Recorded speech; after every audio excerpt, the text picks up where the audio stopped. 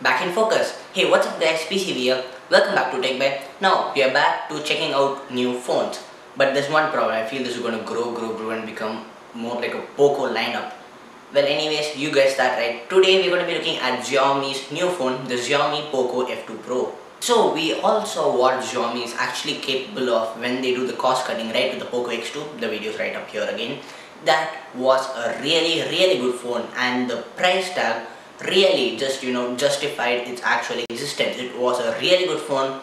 This however is a little on the higher side but not too high you know. I'll let you know about that at the end of this video.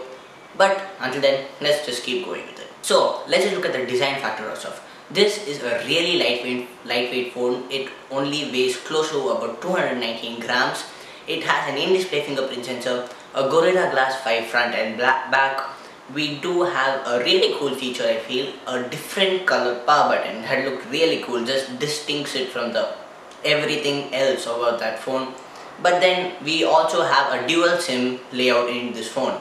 So let's just look at the display factor of this thing. Now this has a humongous screen, a 6.67 inch with a Gorilla Glass 5 front, a Super AMOLED screen with 2400 into 1080 pixels and that is 1080p Full HD, very good. We have HDR10 plus with this. We also have instead of you know just the waterfall thing, just curving through almost the back of the phone and that would actually you know distract where your hands will be going. So if you're holding it here, there is more chance of this place touching the screen instead of another finger just coming here. They did away with that. They gave it a lot of thought. So that's good. We have a flat screen. An advertised 500 nits of brightness. So yes, it can get really bright. and we have a 60 hertz refresh rate. Now, 60 hertz is obviously not something too great, but it is something we can definitely use even in 2020. So yes, 60 hertz the way it is. So let's just look at the platform side of stuff, right? So we have the operating software first, that's Android 10 with a skin of MIUI 11. Now MIUI 11 is not definitely the best skin you can get for a you know any phone. Like OnePlus 8 has the better Android skin for their Android 10 versions. But anyways we have a Qualcomm Snapdragon 865 so this chip gives it 5G capabilities although they have not taken full use of it like how OnePlus 8 did. But then we are looking at an octa-core CPU and an Adreno 650 GPU let's check out storage. So first we will not have a card slot on this but we have two different options. So one of them is 128 gigabytes and the other is 256 gigabytes.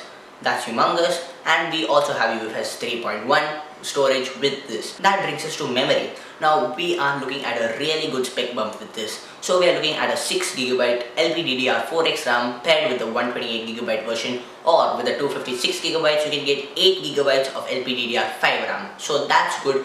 You get a little more newer specs you know when you're getting a phone that's definitely essential in 2020 so let's just look at the camera on this thing. So on the back of this phone we're to have a quad camera layout. One of them is a 64 megapixel wide camera. That's quite humongous. A 13 megapixel ultra wide camera. A 5 megapixel telephoto macro. I think i'm seriously missing something here.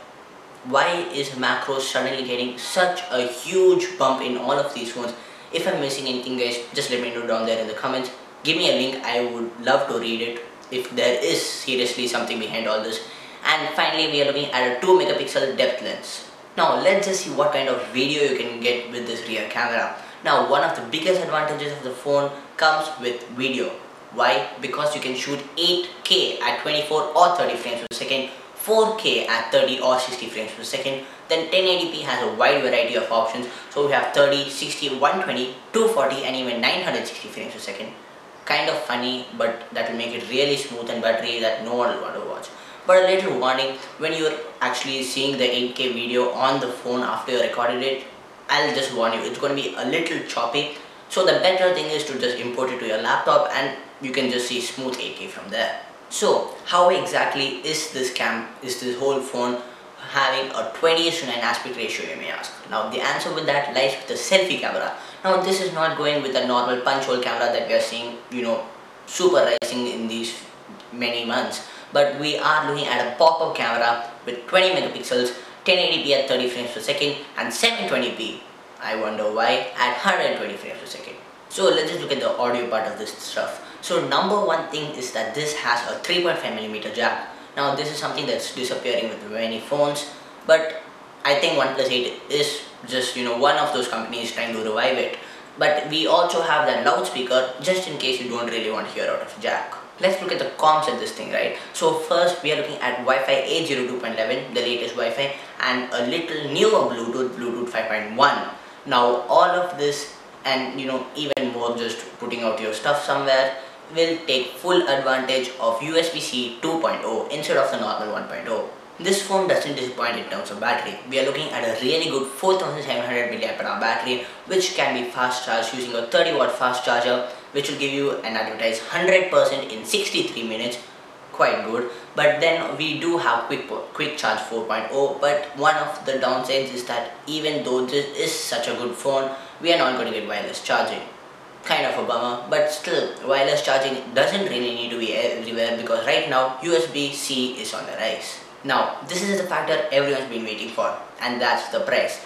Now even though this might not exactly ship to the US just like changing the money rates and stuff like that this is going to cost you close to about $500 now obviously it's not that cheap or it's definitely not that expensive either.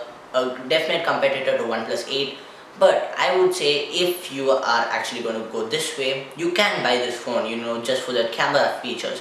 But for a little more of the premium brand you can go to Apple and get the new iPhone SE this video is not sponsored by the by the way. Anyways I'm just going to put that link down in the description if you really want to check out that iPhone SE whose sale is now live. Now this phone is going to ship out in four different colors. That's neon blue, phantom white, electric purple and cyber grey a really huge marketing stint, but it is definitely good names. I would prefer it more than Smoky Saizeriya. Sorry. But then anyways, what do you guys think about this phone? Let me know that down in the comments. Do smack a like if you want to hear about LG's new prototype phone, the Wing, or anything else, just let me know down there in those comments. Until then guys, I'm PCV. I'll see you guys on the next one. Goodbye.